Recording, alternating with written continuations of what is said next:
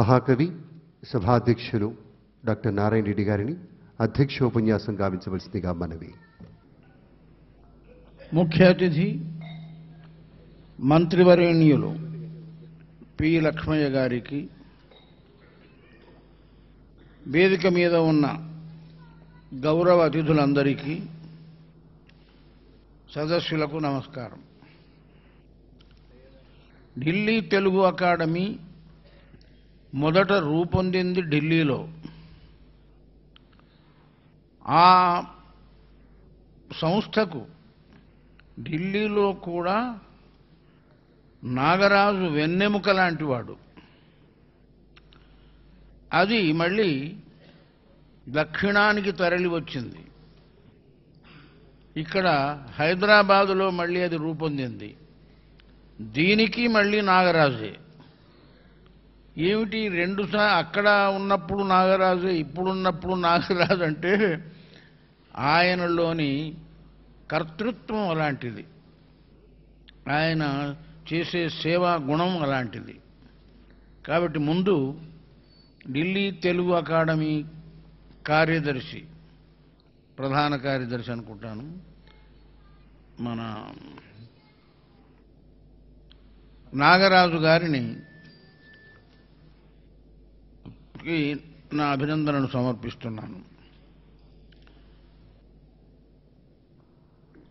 అతిథులు అధిక సంఖ్యలో ఉన్నారు కాబట్టి నేను పరిమిత సంఖ్య పరిమిత సమయ సంఖ్యలో నా ప్రసంగం ముగించవలసిన ధర్మం అధ్యక్షుడిగా ఉంది. అధ్యక్షుడు ఐదు నిమిషాల్లో ముగిస్తే తరువాతి వారు కూడా వీలైతే ఒక్కొక్కటి కాదు ఐదైదే. సమధర్మం ఉన్నది అయితే ముఖ్య అతిథి గారికి విశృంఖల విహారం వారు. ఎంత సులభమైన చేయవచ్చు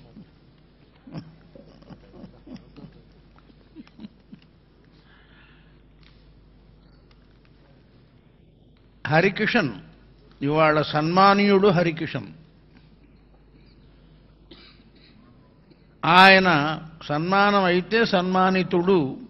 ఎవరో వెంట వెనక అంటున్నారు సన్మానింపదగిన వాడు ఇంకా సన్మానం కాకపోతే సన్మాన్యుడు అనాలి ఇవాళటి సన్మానితుడు హరికిషన్ గారంటే సన్మానం అయిపోయింది సెలవు. అని అర్థం వస్తుంది. అందుకోసం నేను తర్వాత ముఖ్య అతిథి గౌరవ అతిథులు అందరూ కూడా దీన్ని గమనిస్తారని నేను ఆశిస్తూ ఉన్నాను. హరికిషన్ వయసు నలభై ఏళ్ళు. ఏ వయసు ధ్వన్యనుకరణ కళాకారుడుగా ఆయన వయసు నలభై ఏళ్ళు. నలభై ఏళ్ళుగా నేను వింటున్నాను అతని ధ్వన్యనుకరణ కళా నిపుణతను.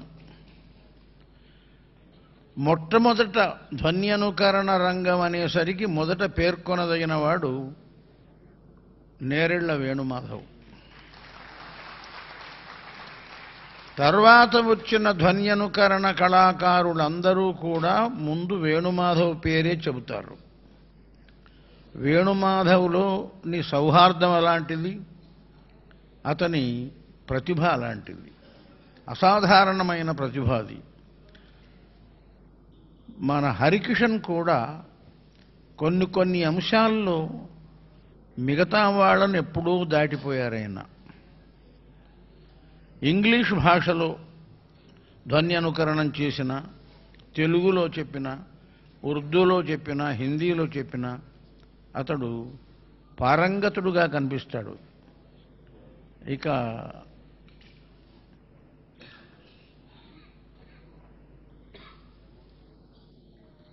ఇంతకుముందు మనం కొన్ని ధ్వన్యనుకరణ అంశాలు. ఇంద్రజాలం అంశాలు విన్నాం మ్యాజిక్. మ్యాజిక్కి మిమిక్రీకి తేడా ఏమిటంటే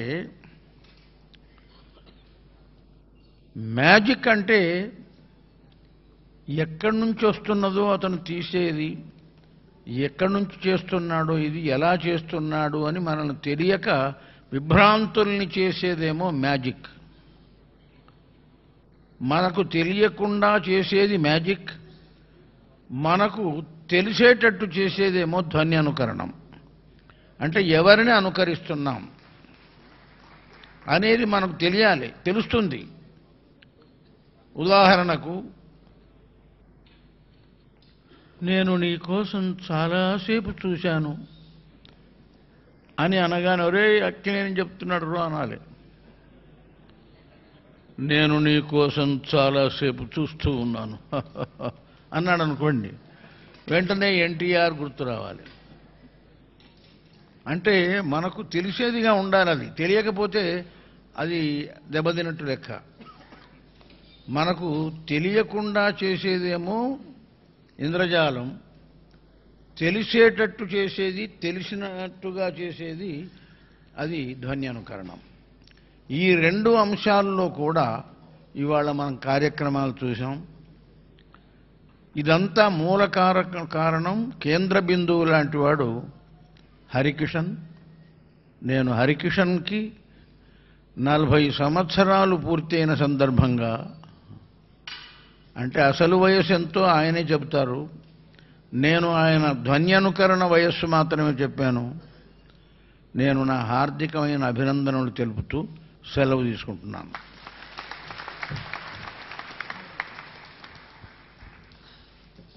ధన్యవాదాలు. రాష్ట్ర సాంస్కృతిక మండలి అధ్యక్షులు గౌరవనీయులు శ్రీ ఆర్వి రమణమూర్తి గారు ప్రారంభోపన్యాసం గావిస్తారు. సభా సరస్సు నమస్కారం. వేదిక మీద ఉన్న వాళ్ళందరూ అత్యధిక మహారథులు. ఒక్కొక్కరి పేరు చెప్తే నా టైం అయిపోతుంది. హరికృష్ణకి సంపూర్ణ ఆయురారోగ్య ఐశ్వర్యాలు ప్రస భగవంతుడు ప్రసాదించాలని మనసారా కోరుతూ ఆయన చేపట్టిన కార్యక్రమం నలభై ఏళ్ళు ఆయన స్వర్ణోత్సవం త్వరగా బ్రహ్మాండంగా జరుపుకోవాలని కోరుతూ ఢిల్లీ అకాడమీ చేస్తున్న ఎన్నో కార్యక్రమాల్లో చాలా మంచి కార్యక్రమం.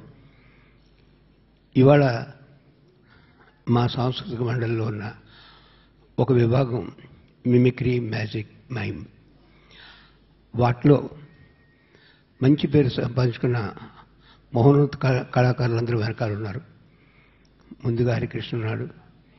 వారందరినీ మనసారా అభినందిస్తూ రానున్న సంవత్సరంలో మంచి అవార్డులు రివార్డులుతో అందరి మనలో పొందుతారని ఆశిస్తూ ఒక శుభసూచకం ఏంటంటే ఇవాళే కేంద్ర సంగీత నాటక అకాడమీ వాళ్ళు మూడు అవార్డులు మన తెలుగు వాడికి ఇచ్చారు.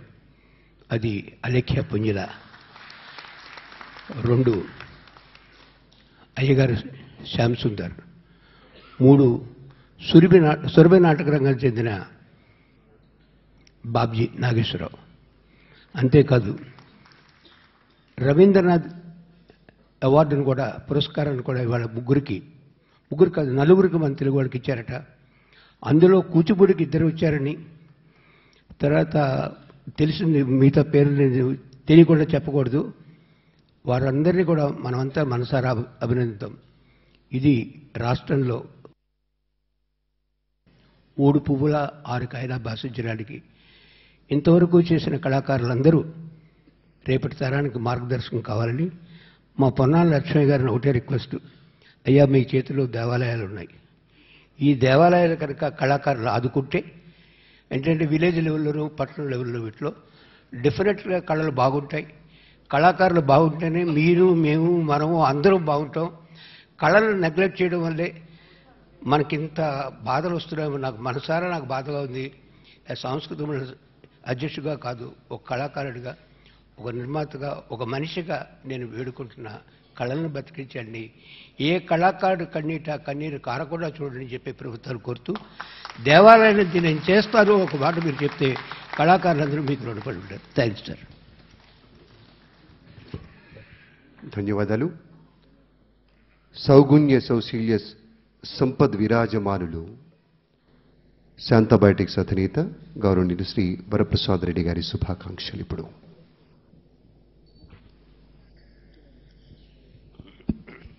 అందరికీ నమస్కారం. సాధారణంగా ఒక పదవి వచ్చినా ఒక బిరుదు వచ్చినా ఎలాంటి వాళ్ళకైనా కొత్త ఉత్సాహం చైతన్యం వస్తుంది. ఈరోజు ఇచ్చే ఆయన బిరుదు ఆయన చేసే సన్మానం ఆయనలో కొత్త శక్తి ఉత్సాహం వచ్చి ఆరోగ్యం మెరుగుపడాలని కోరుకుంటున్నాను. మనందరం ఈరోజు ఇక్కడ కూర్చొని కోరవలసింది ఆయన ఆరోగ్యమే.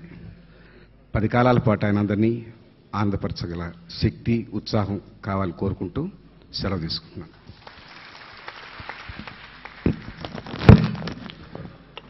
ధన్యవాదాలు. మూవీ ఆర్టిస్ట్ అసోసియేషన్ అధ్యక్షులు గౌరవనీయులు శ్రీ మురళీమోహన్ గారి శుభకామనలు.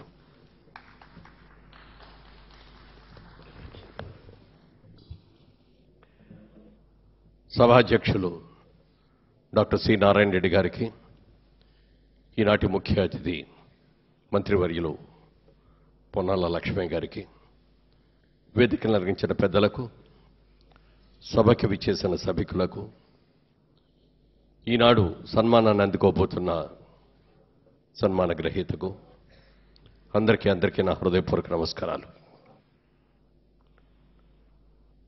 హరికిషన్ గారితో నా పరిచయం దాదాపుగా ఇరవై సంవత్సరాలుగా వారితో పరిచయం. మొట్టమొదటిసారి ఆయన కార్యక్రమం చేస్తుండే చూసినప్పుడు నాకు చాలా ఆనందం ఆశ్చర్యం కూడా కలిగింది. చాలామంది ఒకే మూసలో ఉన్నట్టుగా చేస్తారు చాలామంది మిమిక్రీ ఆర్టిస్టులు. ఈయన అలా కాకుండా ఒక డిఫరెంట్గా చేయటం అనేది నాలో అలా ప్రత్యేకతగా కనిపించింది. ఆ తర్వాత వారితో పరిచయం చేసుకొని కొన్ని సినిమా కార్యక్రమాలు కూడా వారికి పిలవటం జరిగింది. ఒక రోజున ఒక కార్యక్రమం ఆయన నిర్వహిస్తుంటే సినిమా కార్యక్రమాన్ని హండ్రెడ్ డేస్ ఫంక్షన్ అనుకుంటుంది. ఆయన దగ్గరికి వచ్చి నేను ఒకటి అన్నా సార్ ఒక హరికృష్ణ గారు పిలిచినట్టుగా కాకుండా సినిమా కళాకారులు అందరినీ తీసుకోండి. ఒక ఎన్టీ రామారావు గారు పిలిస్తే ఎలా పిలుస్తారు? నాగేశ్వరరావు గారికి పిలిస్తే ఎలా పిలుస్తారు? ఓ రావు గోపాలరావు గారు పిలిస్తే ఎలా పిలుస్తారు? ఓ సుధాకర్ కమెడియన్ సుధాకర్ అయితే ఎలా పిలుస్తాడు? ఓ బ్రహ్మానందం అయితే ఎలా పిలుస్తాడు? డిఫరెంట్ ఆర్టిస్టులు వేదిక మీదకి వచ్చే అతిథులందరినీ కూడా ఆహ్వానించినట్టుగా మీరు ఆహ్వానించగలరా అన్నారు. అలాగే సార్ అన్నట్టు జనరల్గా మిమిక్రీ చేసే ఆర్టిస్టులు చాలామందిని చూస్తే ఏ స్క్రిప్ట్ అయితే వాళ్ళు ప్రిపేర్ అయ్యారో ఆ స్క్రిప్ట్ తప్ప అది దాటి బయటికి రారు. కానీ హరికృష్ణలో ఉన్న ప్రత్యేకత ఏంటంటే అప్పటికప్పుడు కనీసం ఆలోచించుకోవడానికి కూడా టైం లేకుండా చెప్పింది అలాగే సార్ అని చెప్పి ఆ రోజున అందరినీ సినిమా కళాకారులు పిలిస్తే ఎలా పిలుస్తారో వాళ్ళ భాషలో వాళ్ళ శైలిలో వాళ్ళ కల్చర్లో వాళ్ళు పిలిచేది చూస్తే ఆ రోజున అద్భుతం అనుకనిపించింది మాకు. చాలా. ఆ తర్వాత ఆయనలో ఉన్న టాలెంట్ చూసి తర్వాత మేము తానా సభలకు కూడా వారిని తీసుకుని వెళ్ళటం. అక్కడ అమెరికాలో ఉన్న వాళ్ళందరూ కూడా ఆయన యొక్క చేసిన విధానాన్ని చూసి విపరీతంగా మెచ్చుకున్న సంగతి కూడా అందరికీ తెలుసు. మరి అంత మందిని ఎంతోమందిని దేశ విదేశాల్లో నవ్వించి ఆనందాన్ని పంచిన ఆయనకి ఆ భగవంతుడి చిన్నచూపు చూసి అనారోగ్యం వచ్చింది ఆయనకి. ఒక కళాకారుడు ఎంతోమందిని నవ్వించిన కళాకారుడు తను కన్నీరు కార్చకూడదు.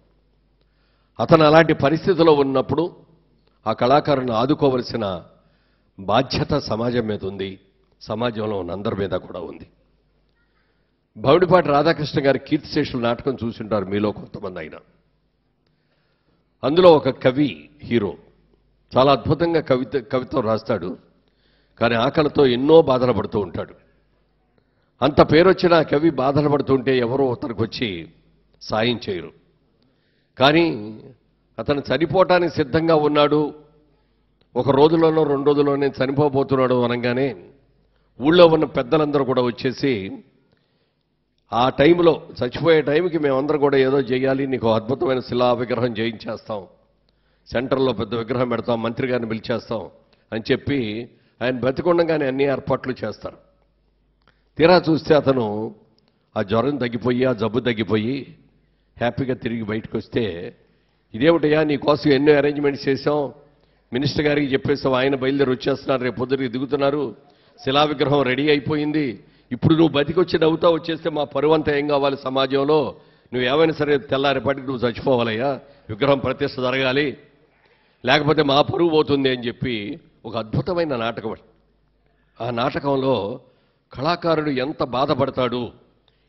ఇంతమందిని నవ్వించిన ఆ కళాకారుడు ఏదైనా ఆపద జరిగితే అతని పరిస్థితి ఏమిటి అనే దానికి నిజమైన సాక్షి ఇవాళ హరికిషన్ గారు.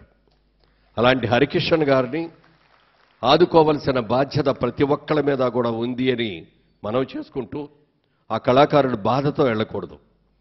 తనకొచ్చిన అనారోగ్యాన్ని తగ్గించుకొని ఆపరేషన్ చేయించుకొని మళ్ళీ మనందరి మధ్యలో కూడా ఒక అద్భుతంగా కళాకారుడిగా నిలవాలని కోరుకుంటూ ఆ భగవంతుడి ఆశీస్సులు అతనికి ఉండాలని కోరుకుంటూ నేను నాకు మా మూవీ ఆర్టిస్ట్ అసోసియేషన్ తరఫున ఒక చిన్న పారితోషికాన్ని వారికి అందజేస్తున్నాను.